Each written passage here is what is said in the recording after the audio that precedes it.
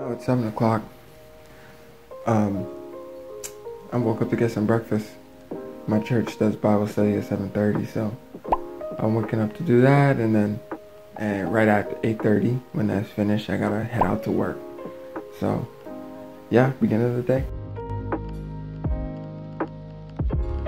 She'll just take off the sound on a bunch of these and just show the video.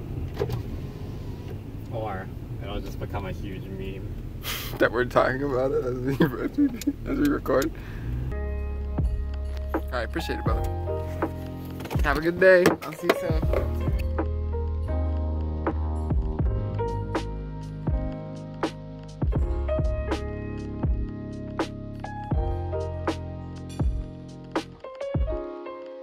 Oh, God bless Joey. If I had to walk, I would have cried. I just finished work, three hour shift. It was fun, but now I'm tired, so I gotta go home and either do more work or go to sleep. So we'll decide when we get home. I eat breakfast food for lunchtime. I have some work to do.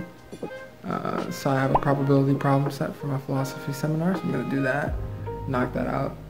Um, around 2.15, I'm try to take a nap, and then at 3 o'clock, I'm gonna go play some basketball.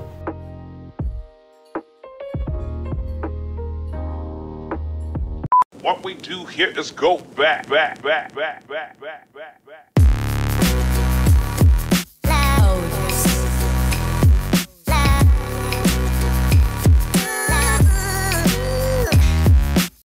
Now 6 o'clock. I had a short class that I was in from 5 to 6, but I was cooking as I did it. We have some people coming over. Yeah, they're just gonna have dinner with us. Could you describe what we made, Jay? Got some mapo tofu over here. Got some eggplant over here. Uh, Yushanqiezi if you're uh, if you're a Chinese speaker. this is the best thing right here.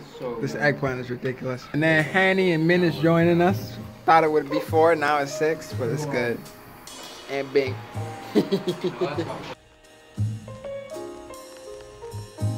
Super tired. We just got done eating dinner.